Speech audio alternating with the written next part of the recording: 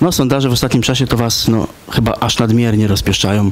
Eurostat y, pokazuje y, nawet w niektórych badaniach, jeżeli dobrze pamiętam, nawet trzecim, drugim miejscu wśród y, najmłodszych wyborców mm, też druga lokata, a nawet i te sondaże, którym nie do końca tak wierzycie, też ostatnio pokazują, że no, coś jest na rzeczy, że chyba idziecie w końcu po władzę.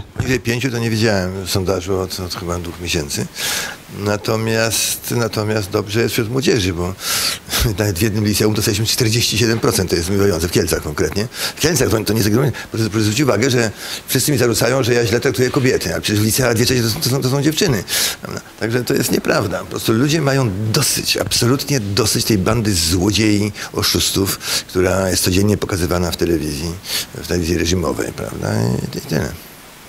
Teraz, bo słyszałem tutaj, wy chcecie, żeby was pokazywano w telewizji. Tak, to jaka, jakaś odmiana poza złodziejami, oszustami i agentami bezpieki. Byłoby dobrze pokazać w telewizjach trochę, trochę normalnych ludzi. Kampania wyborcza trwa. Tutaj słyszałem, y, miał pan jakiś proces. Jak to się zakończyło?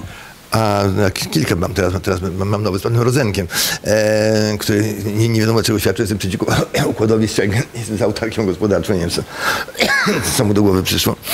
Oczywiście żądamy sprostowania. E, miałem proces z panem Tuskiem, jeszcze, jeszcze trwa, bo w pierwszej stacji przegraliśmy. E, To była taka mm, drobna sprawa, ale strasznie śmieszna, bo pan Tusk widząc, że mamy dobre sondaże, do swoich piesków powiedział, słuchajcie, wymyślcie coś na Korwina, byliście w UPR-ze, to mam, mam na myśli. No i któregoś dnia, jednego dnia, akurat dziwnym przypadkiem, e, pan Sławomir Nitra ze Szczecina i pan e, Tomasz, e, ten, e, Tomczykiewicz, raz sobie przypomnieli, jeden sobie przypomniał, że ja piłem wino z gwinta, a drugi sobie przypomniał, że ja nie płaciłem w restauracji.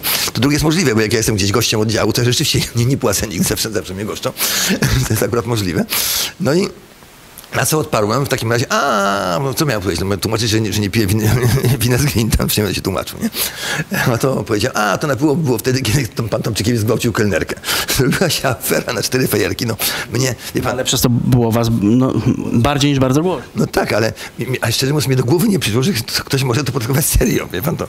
Był taki, był taki e, pan bardzo popularny przed I wojną światową, e, nazywał się Franz Fischer, nie? I on kiedyś mówi do, do, do niewiasty, który tam coś ją potrącił, mówi, o, e, szkoda, że nie jesteśmy sami. Dlaczego ona mówi? Udusiłbym wtedy panią i nie byłoby gaffy. No, Przecież nikt na serio nie, nie, nie myślał, że chce ją udusić, prawda? Tak, tak, samo, tak samo tutaj do, do głowy mi nie przyszło, że ktoś, nikt nie miał humoru. A jak się ta sprawa skończyła? E, No na razie nic się nie dzieje, pan nikt mnie do... Są te sądy 24 godziny? Natomiast sprawa, sprawa z panem, ja, ja oskarżyłem pana Tuska, bo to no nie jest koniec, bo o co ja go oskarżyłem? Na co pan Tusk na konferencji prasowej oświadczył, że to wszystko zrobiłem ja, żeby sobie zrobić rozgłos. Ja? To ja. To ja mówiłem o, o tym, że piję wino z gwinta, no i zażądałem sprostowania. No, e, sąd nie, nie wiadomo dlaczego, to jest w ogóle skandal. Sąd nie chciał obejrzeć e, dowodów, nie chciał obejrzeć wy- wy- wypowiedzi pana, pana które mieliśmy nagrane, kazał mi to wyciszyć, nie chciał obejrzeć tej wypowiedzi, jeżeli myśmy tej nie dostarczyli, no to on tego nie, nie, nie będzie rozpatrywał. No, mam nadzieję, że w, w drugiej instancji jednak e, będzie, będzie to rozpatrzone. Pana przesłanie od lat jest niezmienne i w sumie można powiedzieć, że takie samo. Y, Czy teraz, w tych czasach, powiedzmy, takiego y, globalnego kryzysu trafiło na taki podatny grunt? Właśnie. Yy, ludzie po pierwsze zaczęli widzieć, że coś nie jest w porządku z tym systemem, prawda? Wszyscy myśleli, no to ten system no, musi być jednak, ale widzę, że nie musi być. A po drugie, ludziom to już doskwiera czysto fizycznie. Jeżeli ja na przykład ostrzegałem, że oni przez podatki i inne zarządzenia, prawda, niszczą tutaj konkretnie energetykę, bo to jest, no zwrócić uwagę, że mm, Unią Europejską się kierują tacy grono spiskowców takich 30-40 lat, yy, mianowany przez Rudiego Duczkę taki. Taki był guru lewicy niemieckiej czy kolega e, Daniela Cohen-Bandi. E, No i, i oni walczą z kapitalizmem,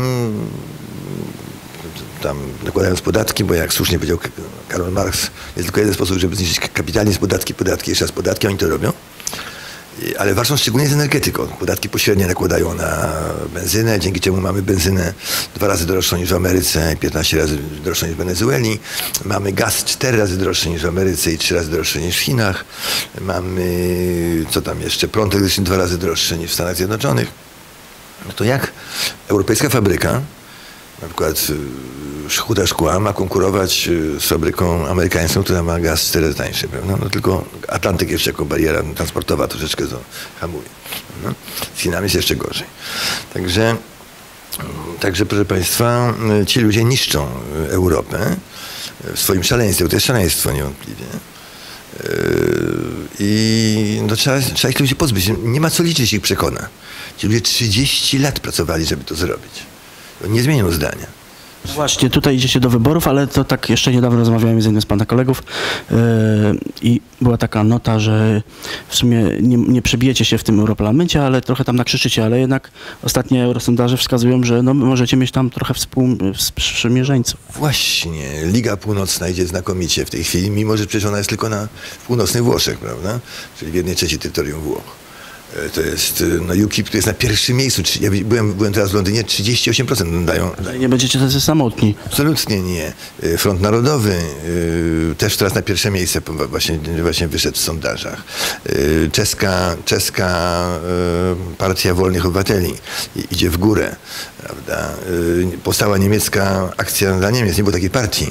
Jeszcze w tamtych wyborach udało się liberałów załatwić. Nie wiem, czy Państwo ja podejrzewam, to szkole, szkoleni byli w Moskwie, bo FPD dostało 4,9 9 ja, ja FD dostał 4,8.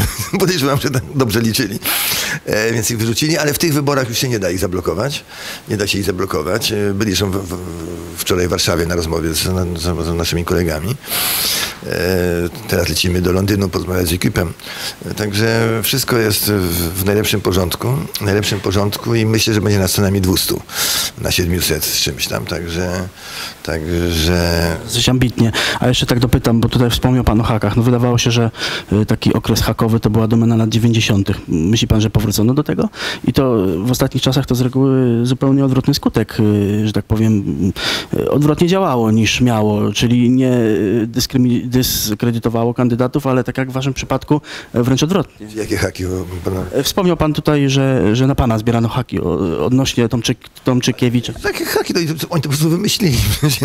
Ja, ja udaję, że nie pijam wina z gwintami, to do głowy nie przyjdzie. Czyli to ich czysta fantazja, tak? Czysta fantazja. Po prostu pan Tusk polecił im, żeby coś na mnie wymyślili i chwała Bogu, że tylko tyle, bo mógł na przykład powie, powiedzieć, że biegałem go, goły po korytarzu hotelowym i też ja bym udowodnił, że nie biegałem.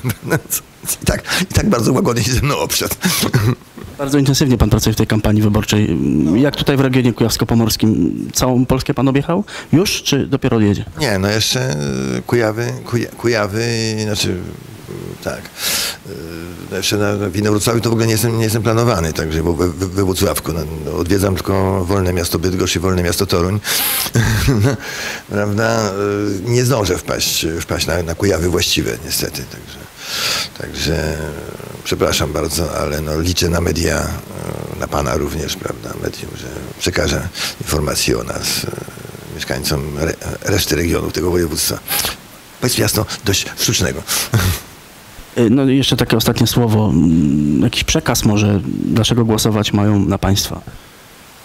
Jeżeli państwo chcą powrotu do normalności, czyli czasów, kiedy człowiek żył z własnych pieniędzy, a nie z dotacji i nie musiał płacić y, z, z, prawda, ze swoich ciężko zrobionych pieniędzy dla nierobów, y, państwo chcą żyć w czasach, kiedy dwóch homosiów potrafiło żyć i nie domagali się nazywania tego, tego związku małżeństwem, to to Państwo głosujcie na nas. Jak Państwo uważacie, że jest dobrze, jak, jak jest, to głosujcie na całą czerwoną hołotę, na te wszystkie PiSy, PO, SLD, no PSL to zielona i tak dalej, na, na, na różnych takich palikotów, to będzie wariactwo. Przepraszam bardzo. Jesteśmy poważni ludzie. I jak my widzimy, jak się tamte partie ośmieszają przecież kompletnie. No ale co robić? No. Państwo macie, wybór należy do Państwa.